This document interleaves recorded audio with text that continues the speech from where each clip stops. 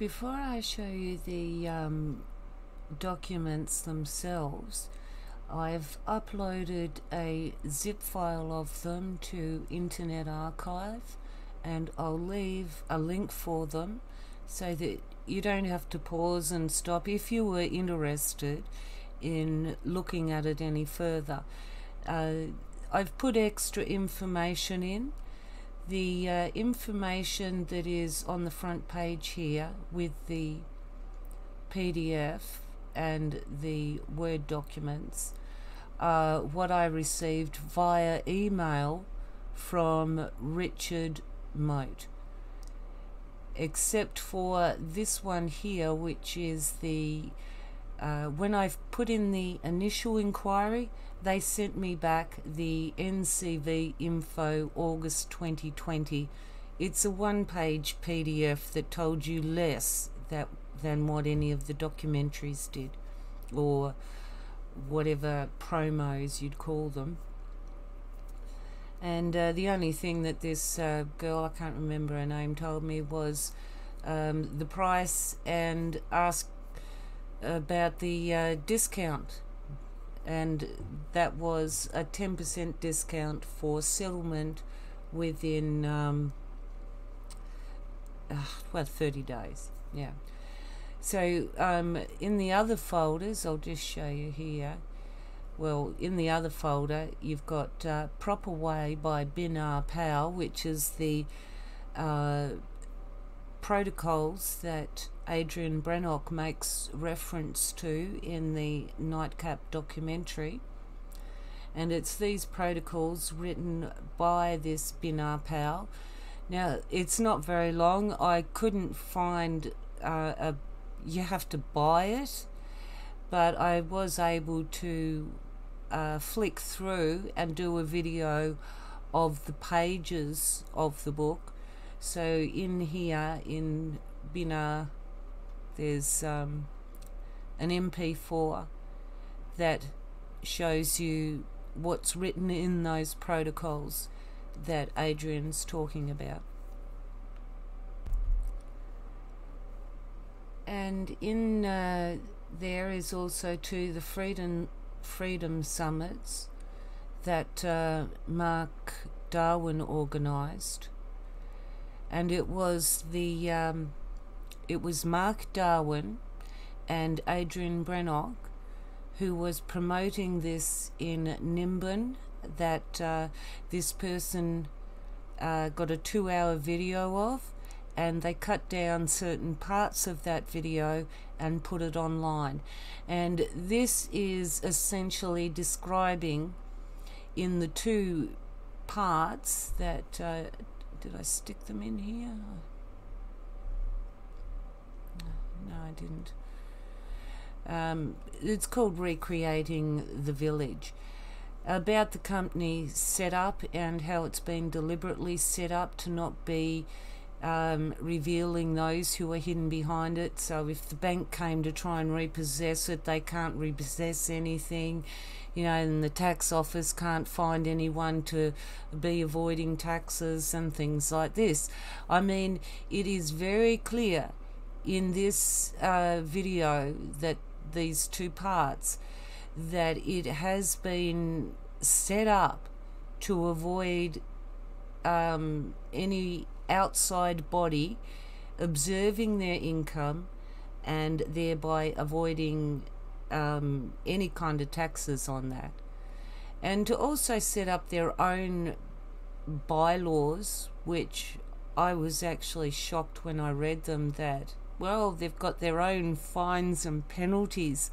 And because of the one naysayer, this poor Gillian Norman, well, actually, I could find the names of at least three other people that were involved in um, losing their money out of these um, things that are all tied together.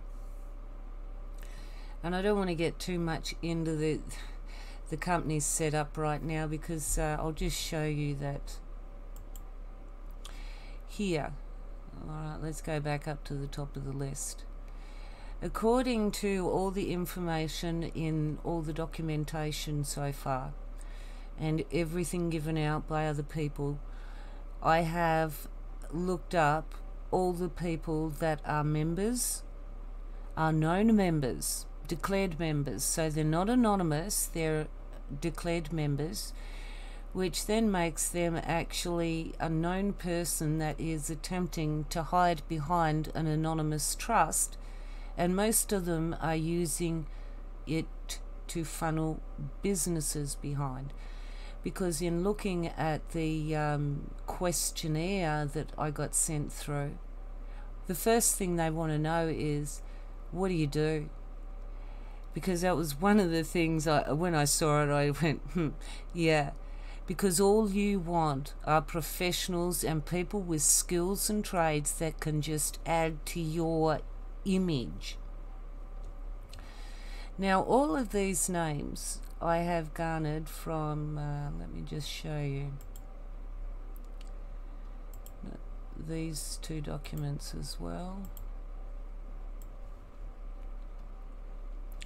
Because these, uh, this involves members of an incorporated association and a community trust that later changed its name to a different name because of the bad name that was associated with Bulla Bulla. So this is all associated with the same members. It's just that when Mark Darwin sort of had a bit of trouble, um, you know, they put other people to the front to take over the charge. But here it actually tells you, I copy and pasted the um, all the judgment summaries so that I could follow them in a sequential order. And contrary to what uh, Gunham says in uh, the video, that there were, well, first of all, it was 14 cases against Gillian Norman, and she lost every one of them. Then it became 15. And, well, there's only two cases involving Gillian Norman and one of them she's suing Rothwell Wall, who is the solicitor taking in the funds for this community. And as you can see here, this Wollumbin Horizons here is actually associated with both setups. Uh, and that links the public face. Now, um, pretty much the judgment. Like they got it all pulled off Facebook and then and Google and everywhere, and you couldn't search it, but it's all spilled out, and you know where to find it because, oh, the idiot pointed it out. You know, in having to say, oh, we beat her. He was bragging about, oh, we won. Just check out the Supreme Court. Well, I did. Because all those accusations are now part of court proceedings and the judgment summary. And so, pretty much all the uh, accusations that have. Um, this uh, Gillian Norman wrote about five different blogs at different times about her experience. Now, she's an old age pensioner. She's paid over 120,000 to buy into this place things have gone wrong. They've got kicked off the land, not only her, but everybody else, because the council came in and found, said, you know, nobody can inhabit here. So everything fell through. Gillian Norman, Ron Berry, and others asked for their money back. And uh, they're pretty much told to go to buggery. So, in that, she writes a series of blogs. Now, in slandering the, the project, um, Adrian Brannock and his other cronies went and got a an expensive lawyer and sued Gillian Norman. And because she had trouble she's an age pensioner for crying out loud and she's just lost everything she she has and what she says is a scam. She lived there. She knows the people and the, and the people involved. And there were at least three other people that backed up this information. You can check it out in the court documents. And even the fact of how um, shonky the, the setup is. Now, look here at the parties involved. The uh, four plaintiffs here. Uh, I've uh, done both ASIC searches and uh, Australian Business Name Register searches. Now, I've given out some information in the past about uh, business searches, and it seems like they've changed it around a little bit. And it it seems like that maybe ASIC and the ABN register need to be searched concurrent together because uh, I've found that while it used to be that everything used to have an ABN and then have a th- that extra layer at ASIC, now I'm finding that they're not necessarily linking up. And I'm finding because of companies that are mentioned in this court document, companies like, uh, let's get rid of them again. Oops.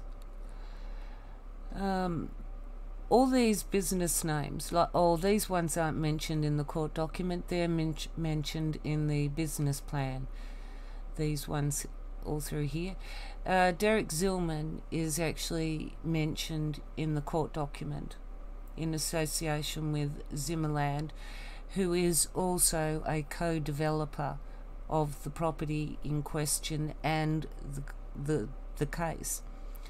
So I've gone through and, like with the Sphinx Rock Cafe and the Mount Bar- Burrell Caravan Park, these are businesses that the Nightcap Community Village are said to control. Now, as these are already registered businesses, uh, to say that they come under the community banner and that they are businesses of the community. The people that run these businesses must also be members of um, the anonymous fund. Thereby, by association, you are not anonymous and it can be proven who you are associated with. Uh, this comes down to a lot of the cases where the uh, the three tiered system was set up so that there was a proprietary limited public face company that would then go back to some type of incorporated association with anonymous members that would then be also tied back to the community itself and so that the the profits could funnel in and and back at, you know through anonymously without anyone checking what was going on.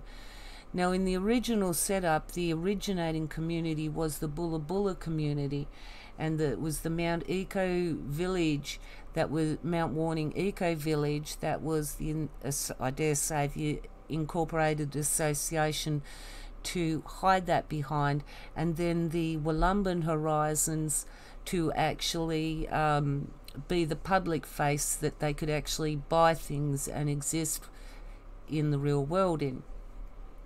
So when it all fell through with Mark Darwin and they brought other members of the trust up, they changed the name, and this is what I'm assuming because uh, it follows through, and in a, I can actually, I'm not actually assuming because you can actually make the connection between uh, the name change from Bulla Bulla to the Minjumble trustee, which is. Um, the trustee for the Minjumble Tribal Discretionary, and it was registered only the 21st of November last year, so um, around 10 months ago. So these are all new things that have come out that um, recently were not available when the final court judgments were made. And ultimately, the court judgment that was made that um, Gunham says that they were successful at. The final conclusion of all of that was that Gillian Norman was going to the higher court and taking action against them at a higher level. And the case she was taking against the lawyer, she was getting pro bono for that to take it to the higher court because it was all associated and to have it all heard under the one rip off scam that she was claiming. And that um, under those circumstances, the judge made the final ruling so that it would be taken to the next level. So the case isn't over. And the fact of the very first legal proceeding that started in the case was also going for defamatory, uh, in, inf, inf, injurious. Uh, the judge laughed that out of court and he ruled in Gillian Norman's favour and said, No, you've got no hope of getting any money for injury because you're saying you're not associated, so how can you claim any injury? You know, and it's very questionable whether anything actually exists to claim injury on. So that ruling was made in the very first place. So they just went on the defamation, not the injury, you know. So in the um, case where it was dismissed, uh, or not dismiss the judgment, uh, there was defamation awarded for uh, two defendants, uh, two um, plaintiffs, which was Adrian Brennock and, um, hang on. Yes, it's Adrian Brennock and Philip Dixon who received 200,000 defamation of this age pensioner plus costs. And I probably oversimplified the judgment because you can see here it's page 13 and there's 50, 57 pages. This goes into a very big breakdown. But essentially, because Gillian Norman uh, was unable to tie the two cases with Rothwell Rothwell Wall together, the, the solicitor taking the funds and this. It, it, it got, um, and she couldn't get, she was going for a pro bono lawyer. She was waiting for help, but she didn't have the money to pay for expensive lawyers like these guys, where they're spending other people's money. And, uh, hey, it's not me that tells you they're spending other people's money, it's Gunham. He tells you that you've got to be careful when you're spending other people's money. So he knows damn well that he's spending other people's money.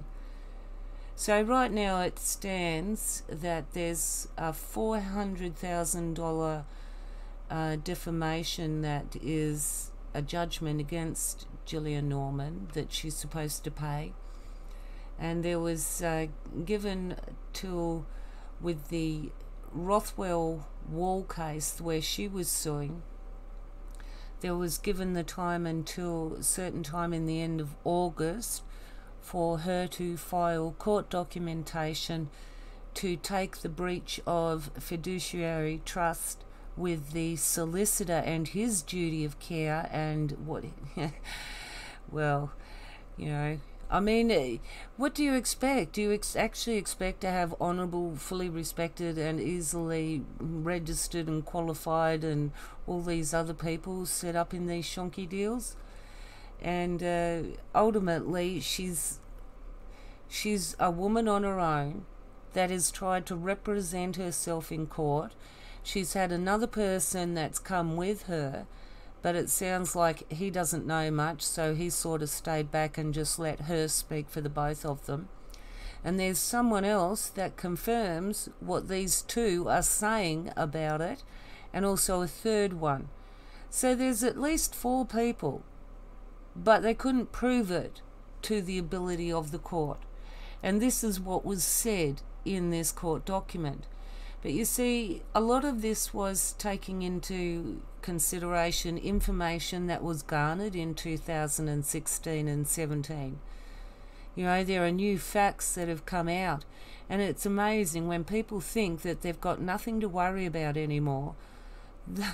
I mean, look at the way that Adrian Brennock feels that he needs to justify the um, the court case. Why did he just not say nothing at all? Why did Gunham just not say anything at all? Nobody would actually know anything about it because it was actually taken out of any ability to search it on YouTube. So it was by their instigation and their insistence, you know, that they were hard done by, and she was the one that not only made everybody else lose their money, but cost them so many millions, you know, and it was like, oh, she's a terrible, terrible woman. Well, as part of the uh, things that I've uploaded to the Internet Archive is this um, bookmarks on individuals and other corporate entities involved, which is a copy of uh, where are we? All these links. You click on click on them; they will take you directly to the record associated with it, and you can read it for yourself. Now, as I said, all these are garnered from the documents. Uh, not only the court documents, but promotional documents, confirmation from other people. Like uh, Ad- Adrian Brennock confirmed that Binar Powell was a member of the community. So there are lots of known community members. So I'll just full screen that. This is, well, I said it was a one page PDF. It may as well be. This was the first PDF I got as the initial response. As I said, there's a copy of that.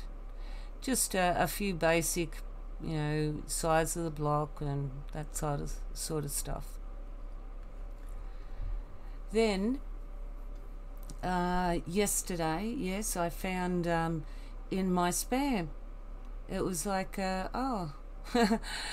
It's only been there since the 15th of September, and uh, it was an email from Richard Mote. Um, I've also put a copy of that in the zip file if you wanted to read that. So I've just uh, got rid of my email address and name because, you know, don't need to stick that out there. Anyway, so this is basically all from down here. I got two emails that were sent only a couple of minutes apart. First is um, due to the deluge of inquiries following the recent videos featuring Max and Gunham. Okay, so we're on to Max and Gunham there. Then it goes into a little bit of a spiel, you know, about our friend Binar Powell. Mind you, they don't send a copy of the exact ones.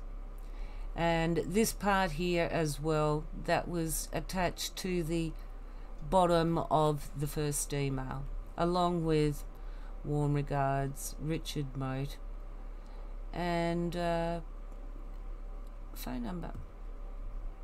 Then um, we go on to the next email that came through, which was, oh no, look at this. Please accept our apologies. However, the powers that should not be decided that the content of Max Igan's Crow House channel, blah, blah, blah, blah, blah. Um, if you wanted to read that before I go on to the next part or, um, or look it up yourself, you can.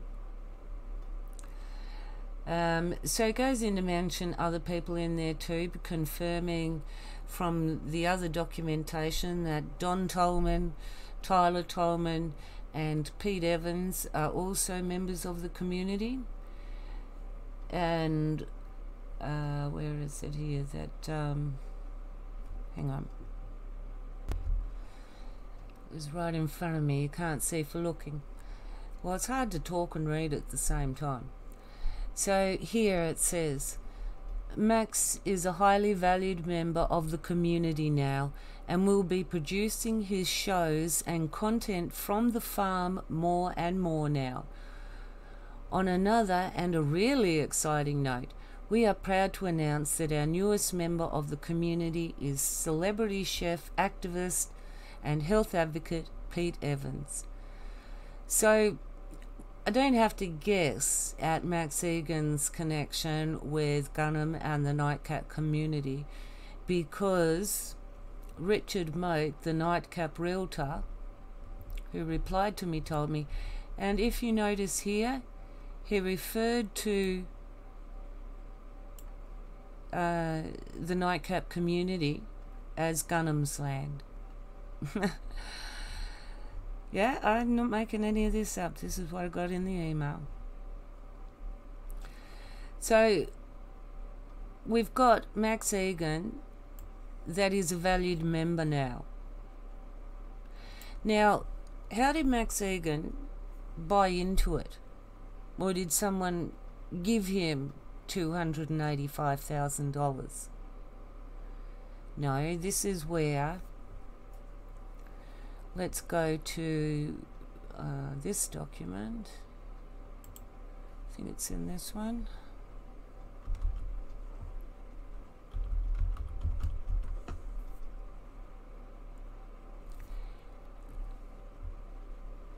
Nope. well, then it's got to be the other, doesn't it?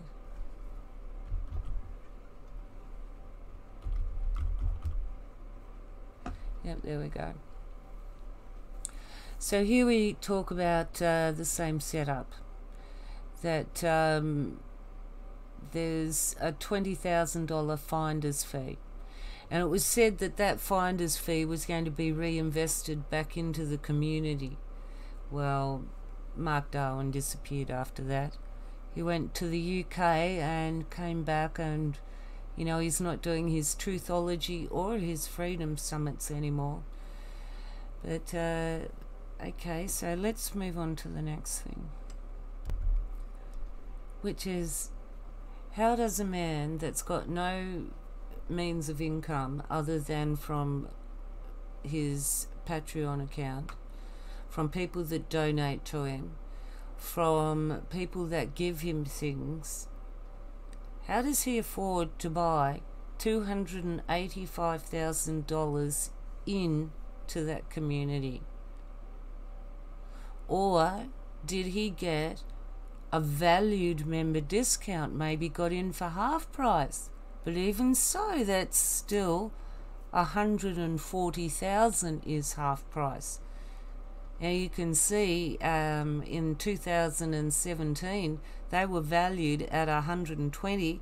Now they're 285, and you get a $10,000 discount if you settle within three day, uh, 30 days. So it's there by putting pressure on people with disposable cash, untraceable cash often, you can't get it back. Um, and once it's gone, it's gone.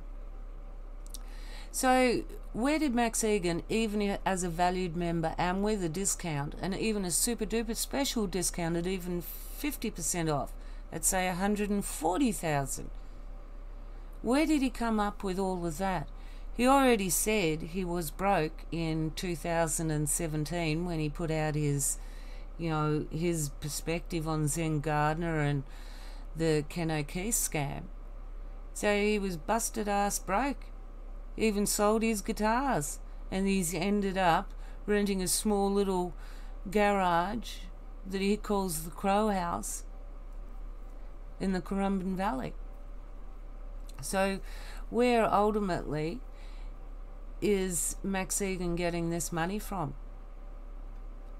And if he has got this money from everybody that's donated to him, well, then you could be guaranteed it's not declared income.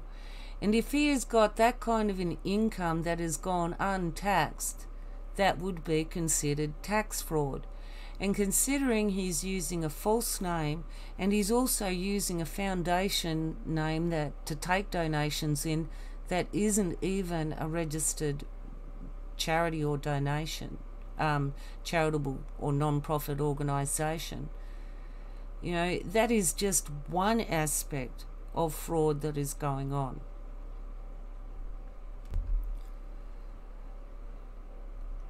So, if you wanted to, um, as I said, read any of these documents for yourself, I've uploaded them to the Internet Archive and I'll leave, leave a link.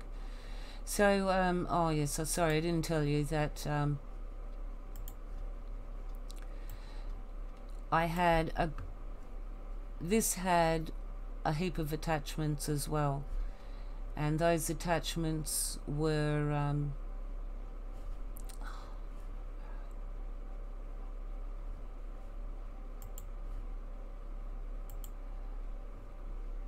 there was the questionnaire as well. I was going to show you that, but yeah. Okay, so this is suggested suggested viewing from AB, uh, which is Adrian Brennock.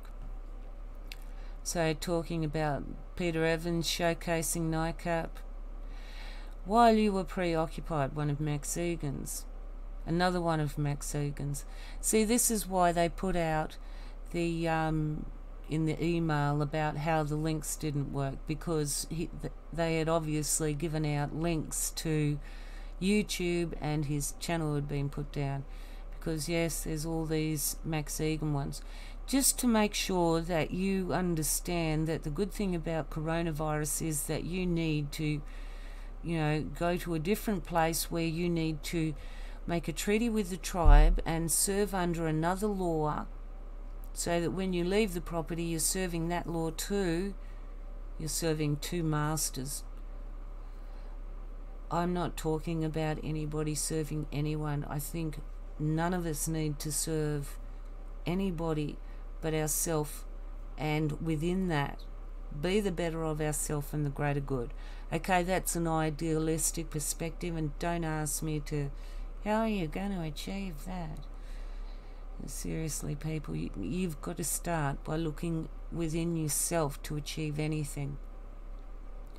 For years, I kept making the same mistakes, and because I kept making the same choices, because I had emotions tied to them that I couldn't let go of. And, you know, I kept beating myself up over the head. Why can't I just change the way I look at something? And then one day it just suddenly dawned on me it's because of the emotional perspective that we have on something, the attachment that we put on that content that stops us from looking at it at, from a different perspective. Like, even though I've gone through plenty of bad experiences in my life, you know, I always think, well, you know what? Every second it's all passing to history and a memory. And one day you never know this will be valuable experience that you know I've learnt from. So even mistakes are good because you learn from them. And if you learn from them and don't make them again it's good. But you see I was always a giver and I used to attract a lot of people to me like a moth to a flame. I'm a giver they're a taker and you can imagine how that worked but anyway, I'm getting off subject here. This is um, back to the PDF that was sent. So, yes, the COVID test. We all know that it's not a test for what it's not. A, let's repeat it a hundred times because uh, how many videos has he done that he said the same things in? But there are some other videos that, um, not the pandemic one, the uh, too expensive to grow your own food and other things like that. But I've also on my internet archives, hang on, I'll just show you that for a sec.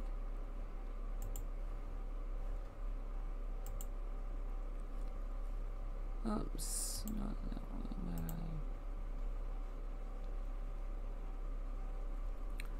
Slow, sorry, I should have paused it and waited. Alright, I've got a whole heap of stuff on there. Now, up until these last two archives that I put on there, this internet index here has got this and all these others in there. Oh, there's more. No? No more.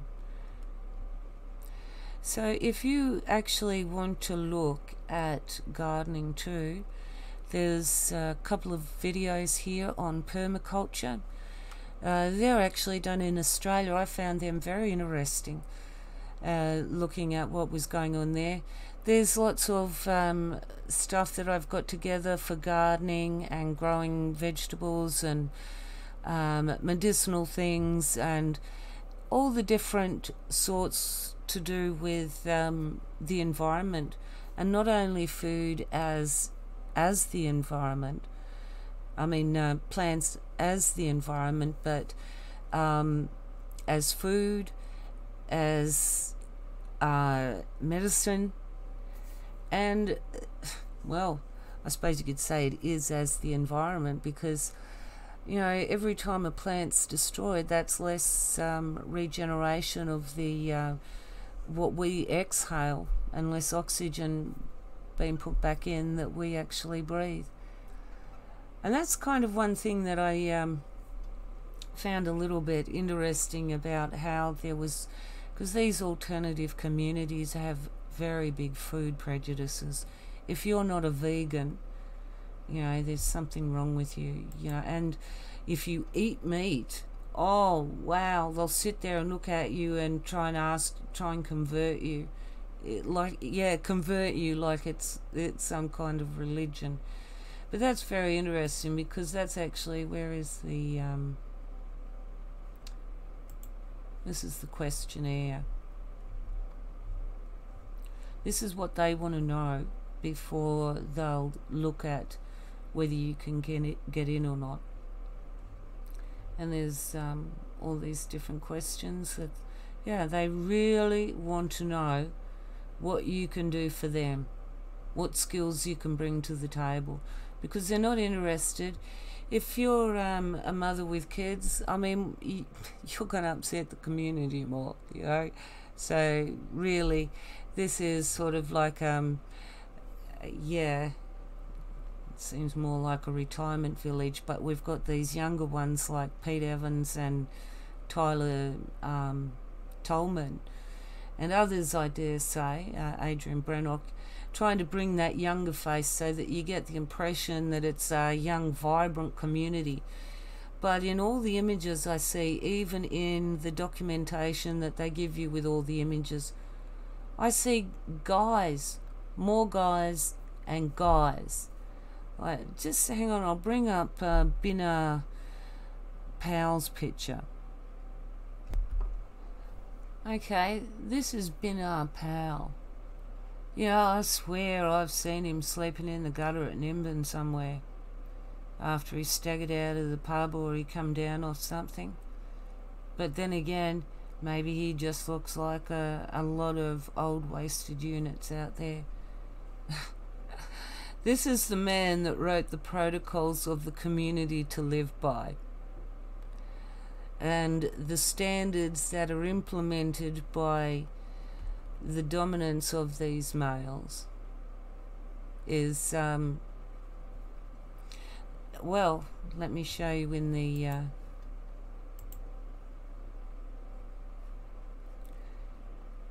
are we on the no?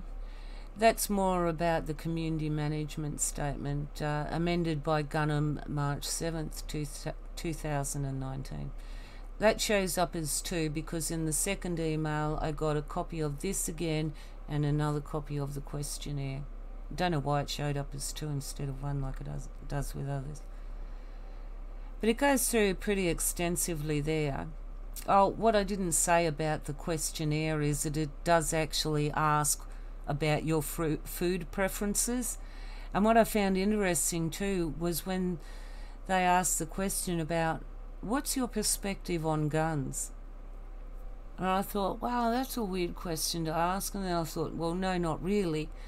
Because in the videos I've done, you know, a few weeks back when I was talking about alternative communities, they've got a shit ton of illegal guns that are buried, looked after, easily accessible. That, um, yeah, you, you do a raid on the property, where are you going to dig up to find it?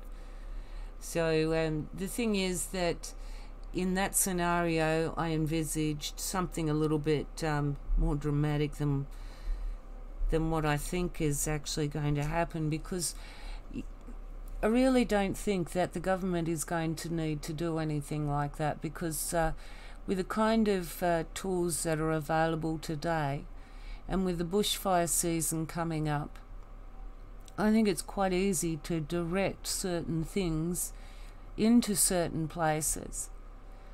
Because another interesting thing that was brought up by Max Igan too was, um, hang on, I'll take you back to another video. when he did one of these videos in April, I think it was this one here, um, the one on the left, he mentioned something about a hemp farm as one of the businesses associated with it. And I think he was speaking a little bit out of term there, and it's like, what? Are you kidding me? They've got a hemp farm? No way because when I found out that there were hemp farms in the um, legal hemp farms, these are grown by the government, okay?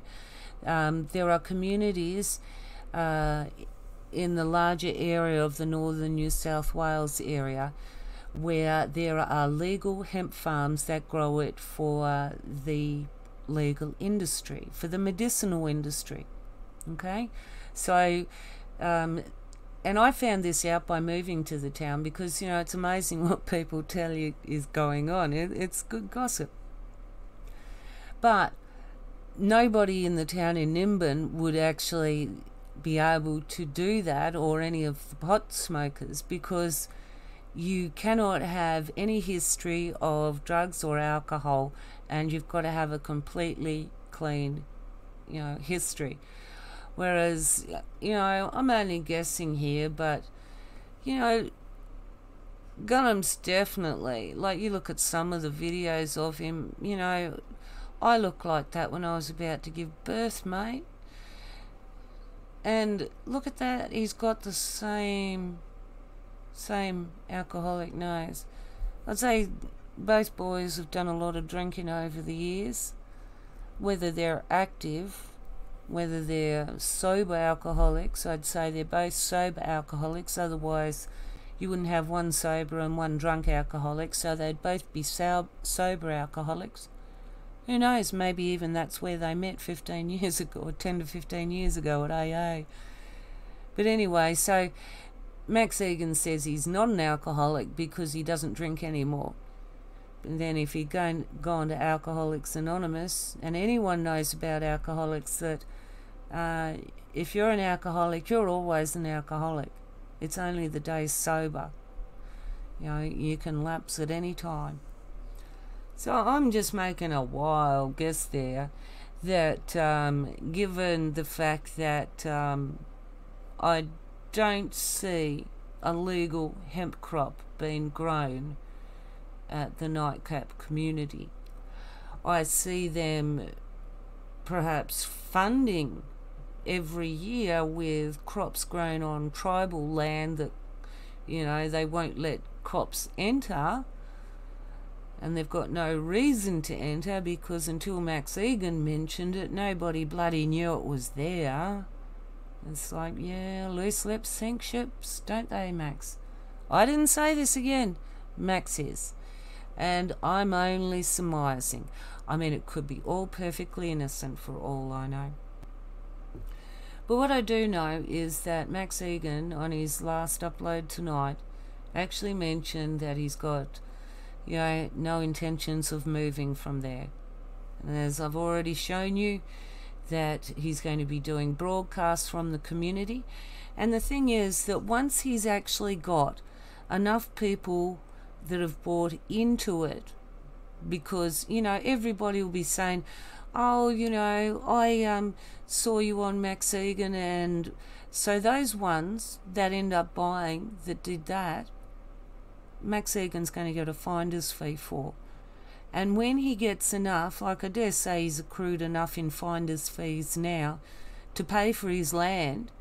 So now he's going to organise to build his house on and to get the comforts of it, he needs to bring in more people and to ensure that he's got a good income because he's going to disappear after he gets enough money, you know, stashed away, you know, away from the government's eyes that they never knew he even got. You know, um, yeah, he'll disappear.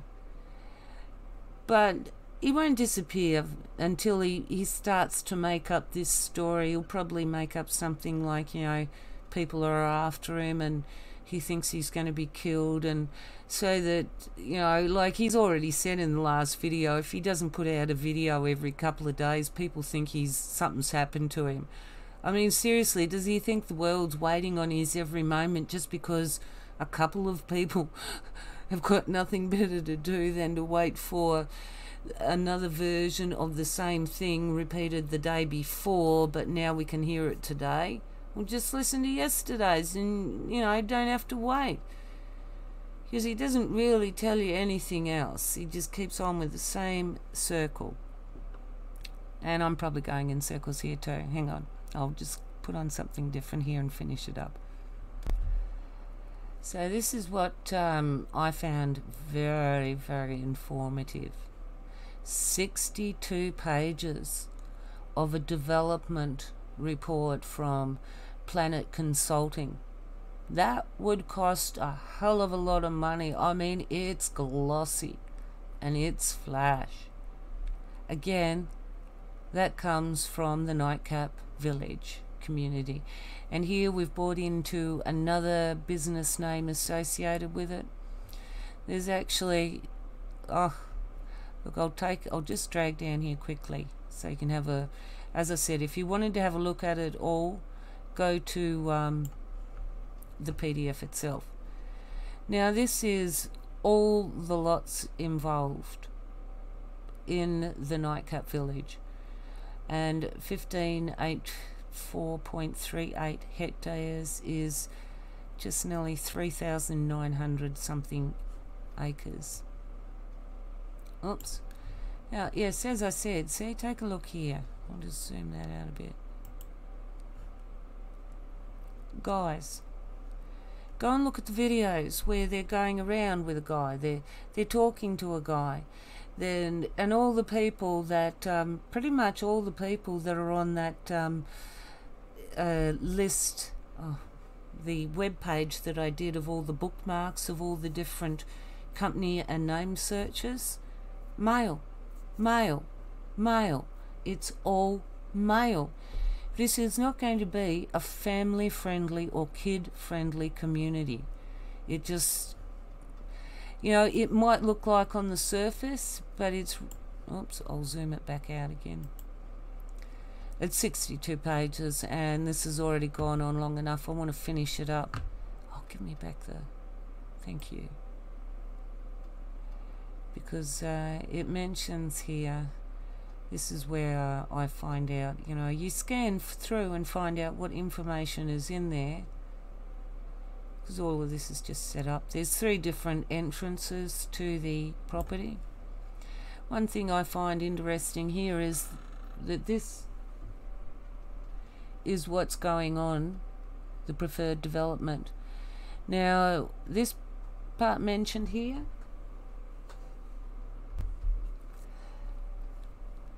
this place of worship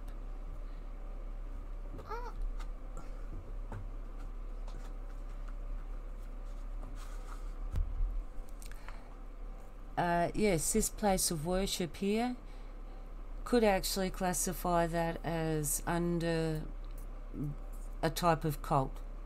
It's large, it's going to attract a community of over a thousand people. They will all be going into the same mindset. But it's not so hard to deal with the problem in a lot of respects if bushfire suddenly strikes up there.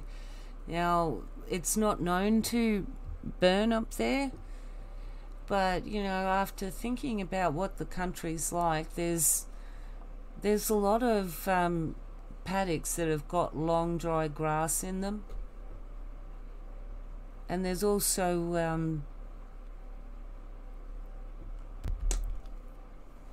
There's also lots of leaf litter and weeds that have died off and things like that that have have accumulated even around water areas.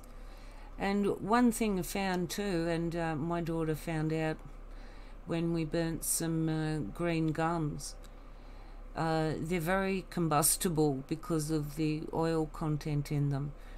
So any particular kinds of trees, doesn't matter how green they are, they are going to, well, because of the oil in them and how strong they it might be, they will actually spark out, like they will spit. And if, um, as she found, if you're standing too close to the fire, it can get you. But um, let's take it down to see. These are all um, things associated with other properties as well and as all the facilities there. Now where is it that uh, the entrances? Hang on I'll pause it and find it. Uh, yeah before I found what I was looking for. This is just showing the concept of this sub subdivision so these are the existing ones that are already within what they've purchased, which is nearly 4,000 acres. Now look at the proposed lots. Yeah, I might need a little bit more reading to understand that a little bit better, but um, on face value, that looks what it looks like. So this I found was very interesting information because here we've got four different sectional owners that would all fall within this um, three tiered corporate structure, all coming back to the um, Trust that can't be traced on who is in it.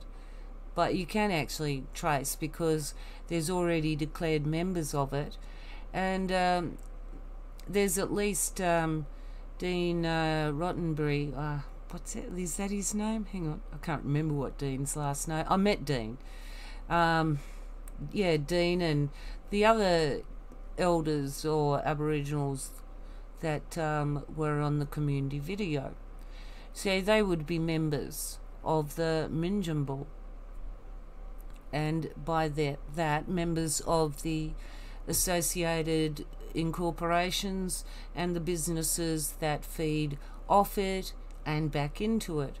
And the businesses that feed back into it include the Sphinx Rock Cafe, the Mount Burrell Caravan Park, the Mount Burrell General Store, the Fruit and Veggie Store, and an empty shop, which I don't know what's leased out in that. Now, when it comes to the Mount Burrell Caravan Park, I noticed in the video that Gunham didn't want to say too much about the car- caravan park.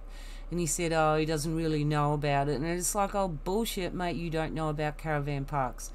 It is one of the most highly regulated things in northern New South Wales.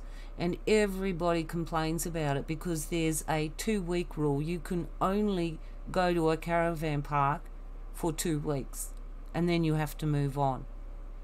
And there are um, very specific guidelines set down by council. Most of them, even if they're run by a private business, that private business has to have some kind of council supervision. So I dare say that the Mount Burrell Caravan Park, which when I was there wasn't even being used because uh, it was run down and they didn't meet council standards, so it, it hasn't been an operating business as such. So I think that when he said he doesn't want to wet his gunpowder, what they're going to try and do is get that area where the caravan park is rezoned from the caravan park into some other type of area where they can bring in other members of the community uh, on a temporary or long term renting basis or whatever like that. But there is that thing with caravans, uh, caravan parks, is that there is a certain amount of allotted caravan parks and spaces in towns and places. And that is so because you can't sleep on the side of the road in your car. You'll get moved along. You you have to go to a caravan park or a paid accommodation if you're 15 Ks within any paid accommodation, you have to go there. You can't sleep on the side of the road. And considering that there are so many beds and breakfasts and all these other different businesses scattered throughout these hills, you know, you're never going to be 15k from any of them. So essentially, you know, there's no camping other than in the caravan parks, and only a few of them will actually allow you to tent and so thereby everything is very highly restricted. So I dare say that this not wetting the gunpowder thing that um, Gunham's talked about is uh, trying to get it rezoned and reapplied to a different type of business model that will fit in with the nightcap community. So these um, these ones here are all uh, included in the bookmarks searches that um, I included on the Internet Archive. If you wanted to click on these direct searches and have a look for yourself.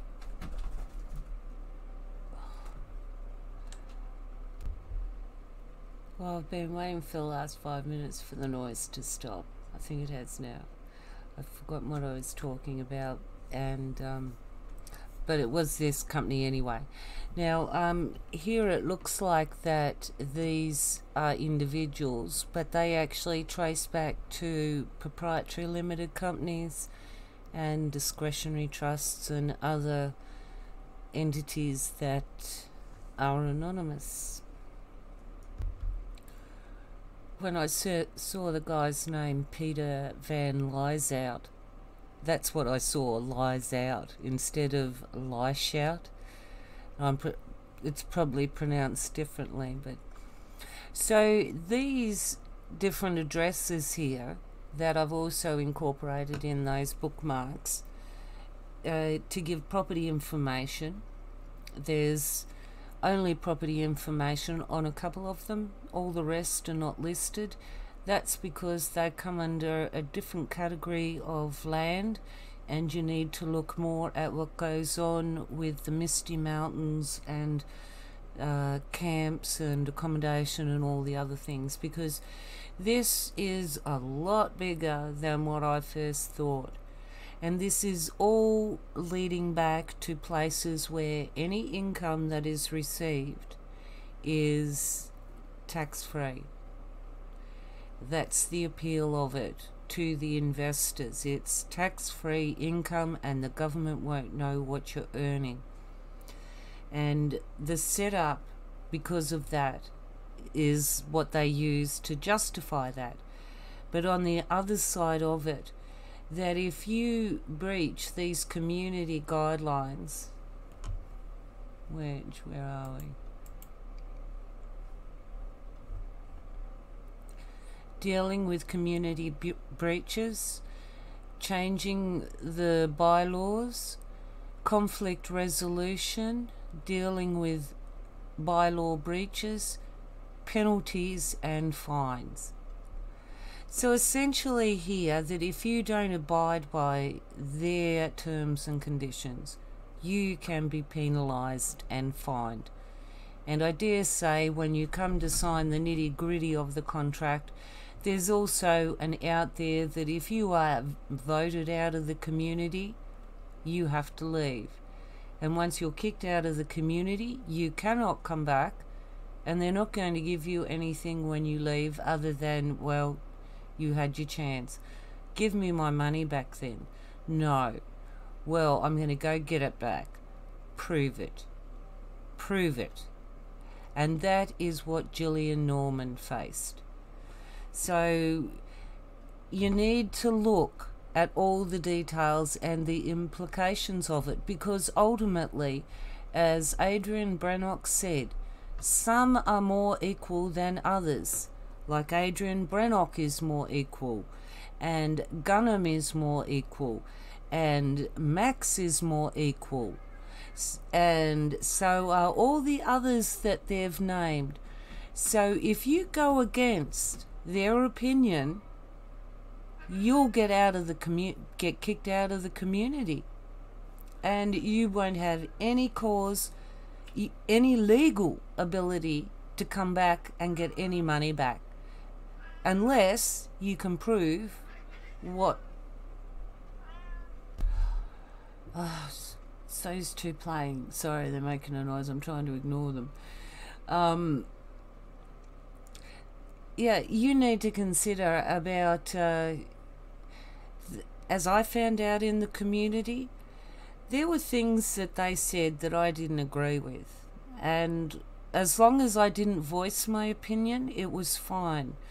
But as soon as I started to say, well, you know, that's not really the way I look at it because, you know, looking at it from a mother's perspective and blah, blah, blah, you know, it, that's when I started to get on the outer.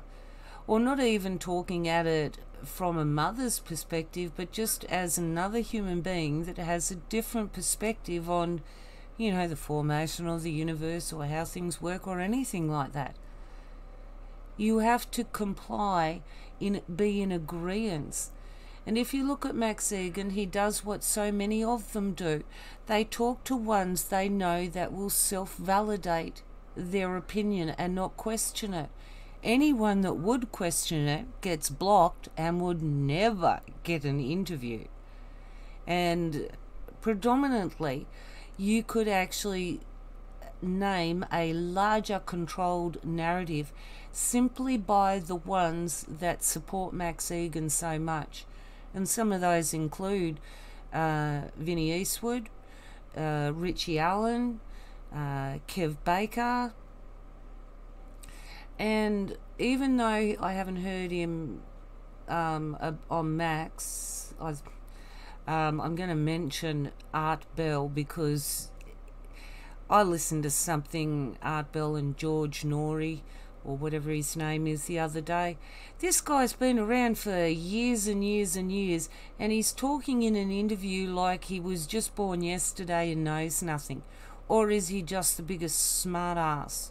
you know, and the way that he tries to control the narrative by, yes, you're right, yes, you're right, or how do you know that? And and he puts it in a way as if that's confirming, yes, I agree with that, and then how do you know that is is kind of he puts down that guy into having to defend that position now rather than saying, well, I agree with that, so yes, that's correct.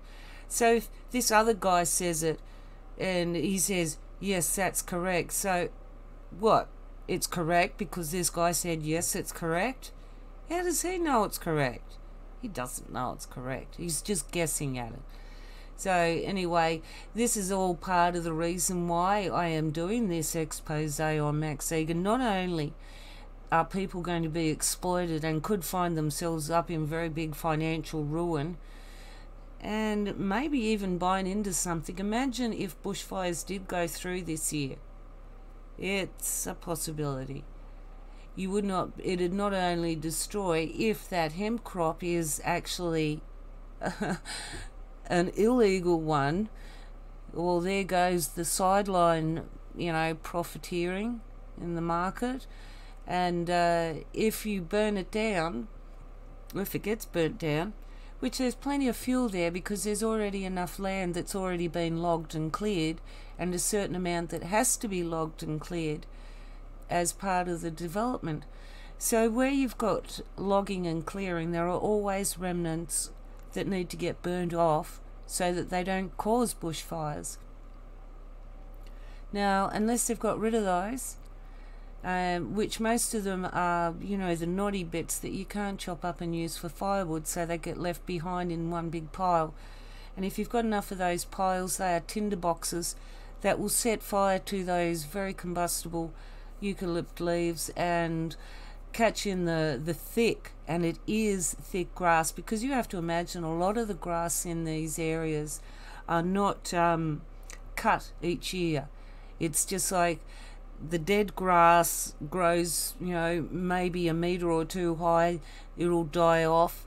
Then the green grass the next season will go up through it and that'll die, and it just keeps making it thicker and thicker and thicker.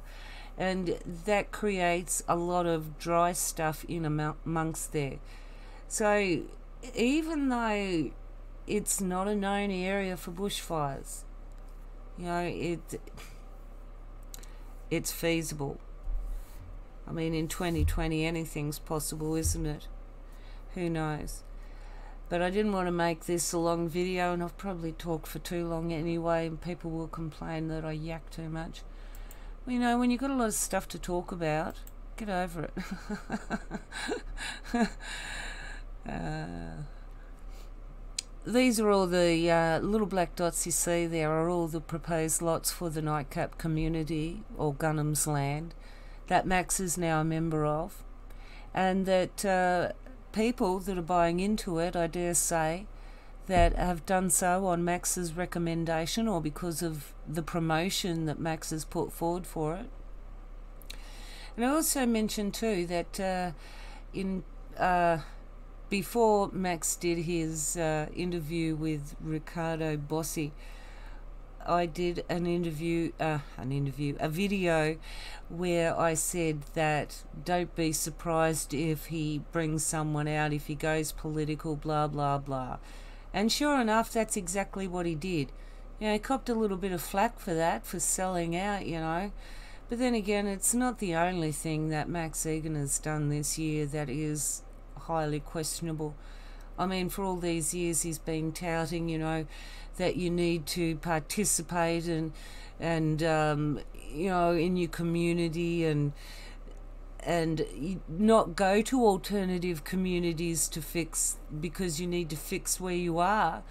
And he keeps saying not to do that. And now it's like, well, you know, he's got his membership, which is it costs money to get that membership, okay? It doesn't come free.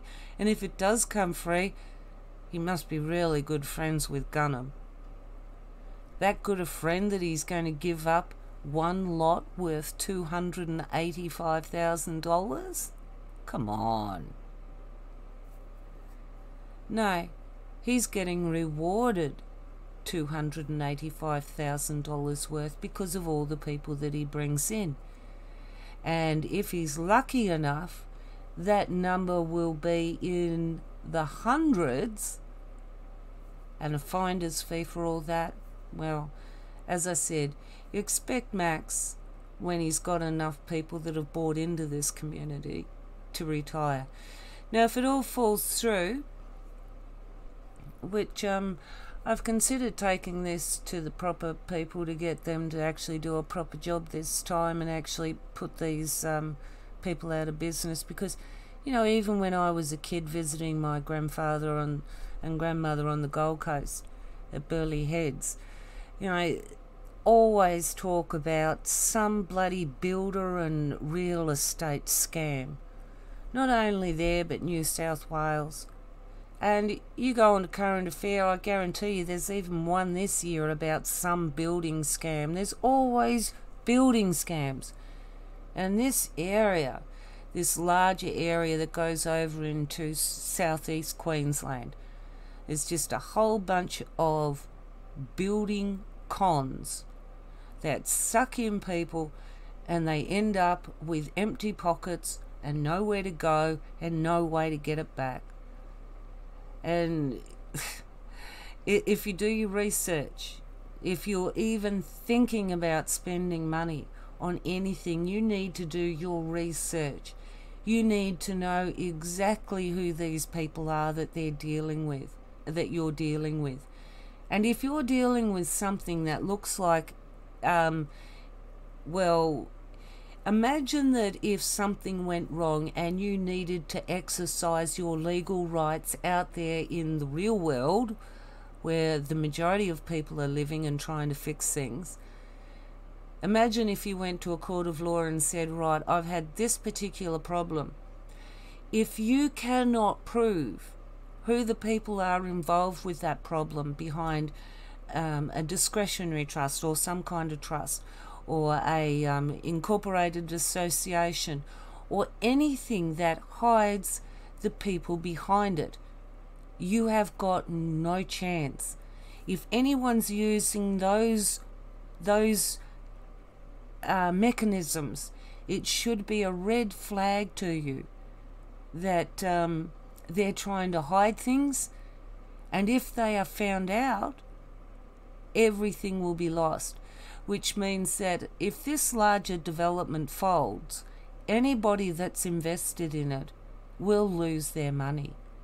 And whether you go to jail or not, as being involved in that fraud, because when you make deliberate choices to try and earn an income outside of the tax system, and you are trying to hide it behind entities that exist in a tax system, sooner or later you are going to trip up.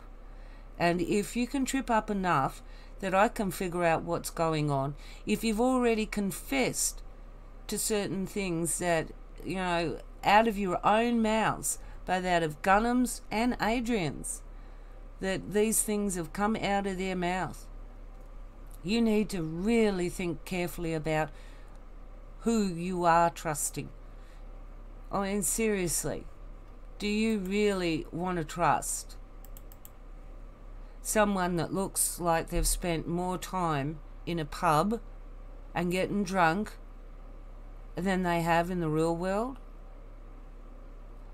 And how, like, I tried, um, you know, I, I don't know whether saving a, a friend that you know, he's he's still an active alcoholic, but whether they're active or not, it doesn't matter. There is a certain amount of bitter, bitter narcissism, um, hate the world, you know, um, very cynical, and it would explain a lot of um, Max's negative outlook on things. You know that the you all you can look forward to being microchipped and vaccinated and in his latest one the babies oh the babies. I mean like you're dealing with serious issues and all he does is just generate fear around it. You know and that's not helping anyone. Because when it comes down to it there are very few in australia that are experiencing those actual extremes right now the people in Victoria that are experiencing those extremes?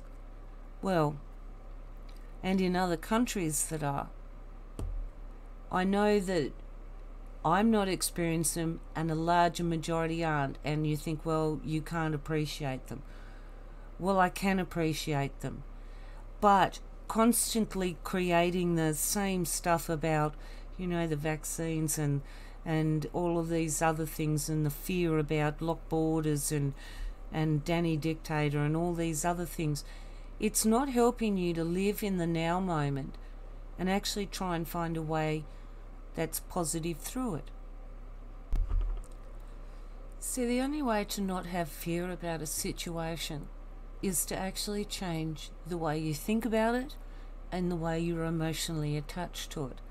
Now, someone keeps you emotionally attached to a situation through fear and through all the oppressive mechanisms that are around you. Um, you really need to ask yourself why are you constantly listening to that? Do you want to feel like the victim? Do you want someone like Nanny Max to come along and give you his version of a solution that has not changed? In in over a decade. Seriously, when you look at some, eh, listen to what he said back in 2007 to what he's saying now, it's still the same thing, except this time he's applying those things to Danny Dictator.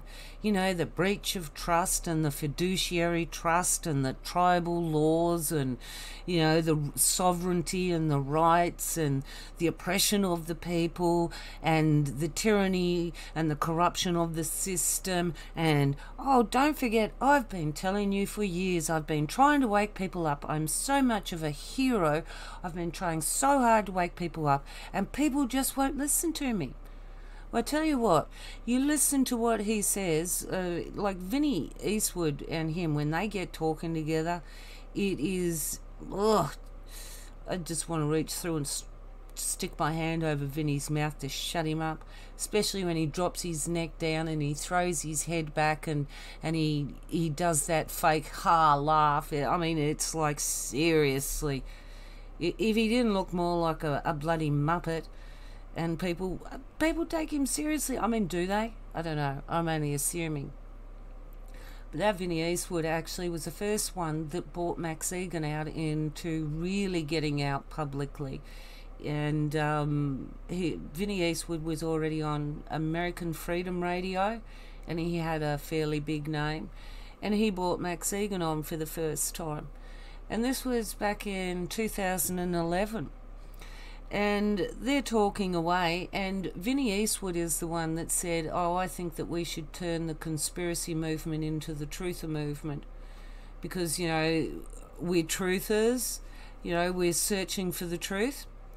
So, fast forward to 2020, and the people that Vinnie Eastwood infected and, and like ones like him, that now there's the truther movement, that now these people that say they are, you know, um, the truther movement or conspiracy theorists and they've got the truth right, they're now putting down the truth truther movement that they actually named in the first place and they're putting forward that the truther movement has got it all wrong. They don't listen. They always got their one perspective and they won't listen to them and take on their perspective or agree with them. So thereby, you know, they're wrong. And everything that comes out of Vinnie and Max's mouth for every reason on why you know the truther movement that they're talking about is wrong is exactly the same reasons I could say about them. And so, before you buy into anything, before you buy into Max Igan's ne- negative narrative, before you buy into anything that he's selling, consider the Ken O'Keefe scam. And uh, as I said in my first video, I was going to do this sequentially, but I'm actually waiting on some information to come through from someone that might relate to the earlier years and add more to this. I, as I said, there's a lot more to add to this. I will go into detail more about the companies and the people involved, the named members, the known members that aren't anonymous, the actual setup of the um, three tier system, and the current way that, uh, and the, the companies that they're using to hide it behind. The only one I was missing was the Trust for the Minjimbu, which was the replacement for the Bulla Bulla Community Trust. Uh, but then I thought, well, if you're going to change it to anything, what would it be? And it's like, well, to me, logically, the only thing they've actually left off nightcap in all the other registrations, but it's on the website and what they promote, is the Minjimbu part because ultimately that is the core part of the community. It is tribal law, and you will be giving yourself over to tribal law as well as as soon as you set foot off that property, you will be under Australian law as well. Anyway, I'm going to leave that. It's probably a really long one. I, can make other videos, and I will. Anyway, catch you next time.